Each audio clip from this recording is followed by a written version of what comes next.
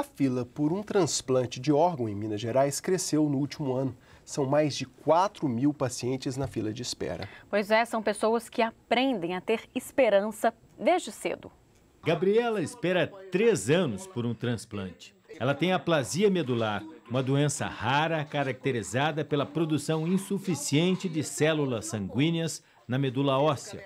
A imunidade dela já chegou a zero. Por conta disso, ficou um ano em casa. A defesa frágil impõe a Gabi uma série de limitações. É difícil, né? A coisa mais difícil para mim, eu lembro uma época que eu não podia abraçar ninguém. Com disciplina, Gabi conseguiu aumentar a imunidade.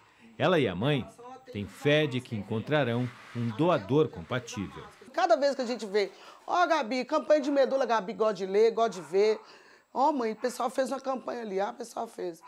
Quando ela chega, toda a consulta dela, pergunta, e aí, doutor, achamos? A doutora, ô, Gabi, ainda não. Aí ela tira o relatório, mostra pra Gabi, não. E eu fico triste, se eu pudesse, eu tirava a medula e dava pra ela. Todos nós aqui fazemos isso pra ela, pra ajudar. Minas tem a segunda maior fila de espera por transplantes do país. Cerca de 40% das famílias por aqui se recusam a autorizar a retirada de órgãos de parentes mortos. Há mais mineiros na fila de transplantes de órgãos e tecidos. O ano de 2018 fechou com 4 mil pacientes, 600 a mais que em 2017. As campanhas estimulam as doações, mas elas são pontuais. A falta de informação adequada influencia na decisão das pessoas que optam por não ajudar. Para ser doador, é preciso manifestar este desejo à família. Um decreto assinado em setembro de 2017 modernizou o Sistema Nacional de Transplantes. O documento destaca a importância da família na decisão da doação de órgãos. O texto retirou o termo doação presumida e reforçou o papel dos parentes próximos na autorização. São os parentes diretos que podem doar: os pais, os filhos, os irmãos, os avós e os cônjuges. E no caso de criança, né, menor de idade, tanto o pai quanto a mãe tem que assinar o termo de doação também.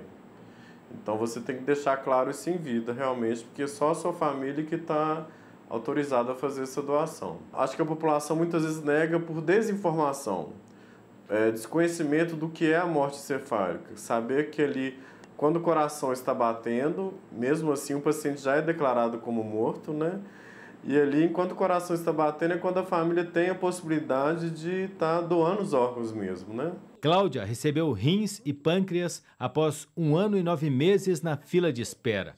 No primeiro transplante, houve rejeição. Tem uma ilusão que todo mundo acha que transplante é cura. Transplante não é cura, tanto que você vê gente que transplantou depois de 30 anos perde o órgão. Não, transplante é tratamento.